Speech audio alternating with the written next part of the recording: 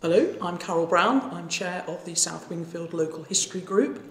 It's a small history group in a rural village. We applied for an action grant to help us stage an exhibition in April 2019.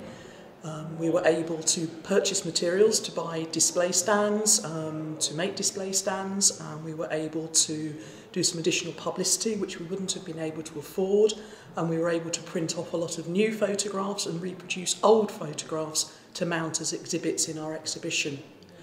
The exhibition culminated in some fundraising that we'd been doing in the village over the last two years, which was to raise about £10,000 to build a memorial wall, as South Wingfield doesn't have a war memorial, we were able to do that. Our last fundraising event was held at the um, exhibition.